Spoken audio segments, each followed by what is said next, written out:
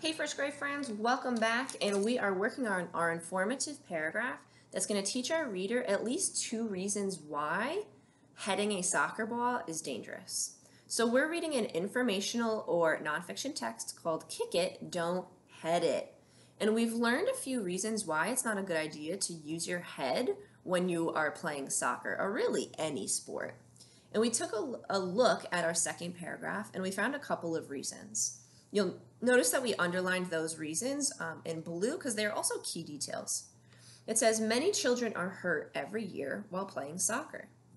Heading the ball can hurt a soccer player's brain.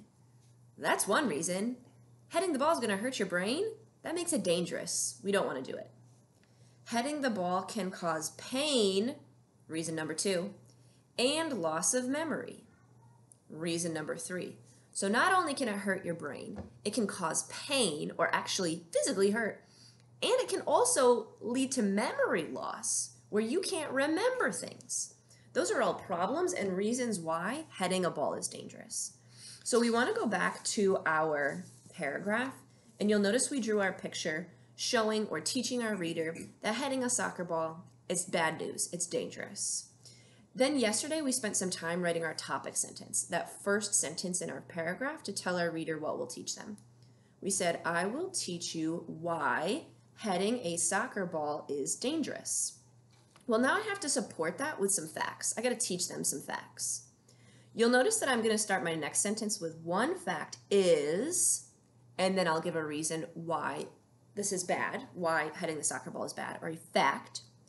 And then I'm going to use another fact is and pick up another fact from our text to teach my reader another reason or another fact about why heading our soccer ball is bad. So here's my first fact. One fact is that heading can hurt your brain. I got that straight from my text. It says, heading the ball can hurt a soccer player's brain.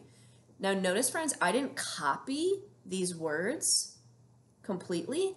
I just picked up some of the words I needed and put them into a new sentence. Now I want to give another fact. I need two or three facts here. Here's my second fact. Another fact is that heading the ball, hmm, let's go back to our text. Well, we have another sentence that gives us some facts. Heading the ball can cause pain and loss of memory. Oh, that's bad. Losing your memory, you can't remember what's happening. I think I want to teach my reader that. I think that's something important they need to know. So I'm going to come back to my paragraph and I want to tell them another fact is that heading the ball can cause memory loss. Yikes. Period at the end. Now I can go back and fill that in. Can C A N spells can. Cause. Man, I don't remember how to spell cause, but I bet you if I go back into my text, I can find it. Heading the ball can cause. Oh, it's right here. I'm going to stick my finger on it while I write it. Help me spell it, friends. C A U S E can cause. Another fact is that heading the ball can cause, I want to say memory loss. Now I can stretch out those words. I also see that it says loss of memory right here in my text. So I can snag this word memory, M-E-M-O-R-Y, M-E-M-O-R-Y, M-E-M-O-R-Y, memory, and loss, loss, loss.